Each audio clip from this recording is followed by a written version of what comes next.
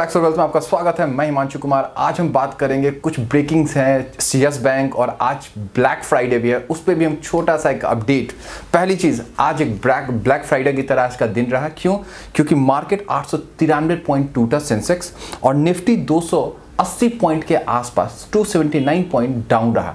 तो आज का दिन ब्लैक फ्राइडे था और कह सकते हैं कि एक बहुत बड़ी टर्बुलेंस थी इंडिया के लिए। साथ के साथ यस बैंक एक सबसे बड़ी प्रॉब्लम हो गई है यस बैंक और उसमें एक अच्छी बात यह है कि अभी आरबीआई ने थोड़ी देर पहले यह अनाउंस किया है कि उसके रिकंस्ट्रक्शन यानी उसको फिर से रिवाइव करने की कोशिश की जाएगी और उसके लिए उन्होंने रिकंस्ट्रक्शन प्लान भी लॉन्च कर दिया है। उन्होंने बहुत क्लियर कहा है कि अगर जिस, जिसका भी पैसा यस बैंक में पड़ा वो परेशान ना हो, बैंक उसके लिए कुछ ना कुछ आरबीआई काम करेगी और फाइनेंस मिनिस्ट्री हमारी जो कि निर्मला सीतारमन है, उन्होंने भी बहुत क्लियर ये मैसेज देने की कोशिश की है कि कोई परेशानी की दिक्कत नहीं है, हम यस बैंक को रिवाइव करेंगे और उसमें कोई प्रॉब्लम नहीं है।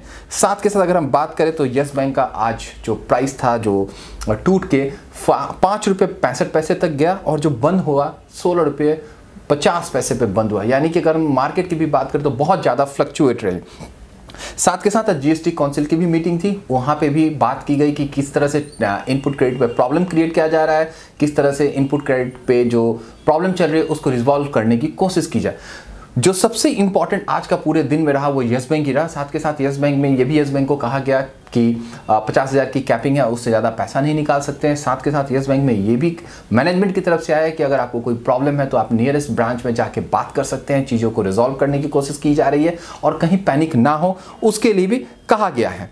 साथ के साथ अगर आरबीआई को देखें तो आरबीआई ने अभी बहुत सारे पेपर भी इशू किए हैं, जिसमें कि उन्होंने Yes Bank Limited reconstruction scheme 2020 launch किया है, जिसमें उन्होंने बहुत तरह की बातें की गई है। शेयर कैपिटल एंड रिकन्स्ट्रक्शन उसके अलावा अल्टरेशन अल्टरेशन भी कर रहे हैं। कॉन्स्टिट्यूशन और बोर्ड ऑफ़ डायरेक्टर वो अलग अलग पॉइंट पे उन्होंने फीडबैक लेने की भी कोशिश की है। साथ के साथ अगर हम एक चीज़ और बात करें तो मार्केट का एस डाउन होने की वजह से लगभग 3.5 लाख करोड़ रुपए का मार्केट में नुकसान हुआ।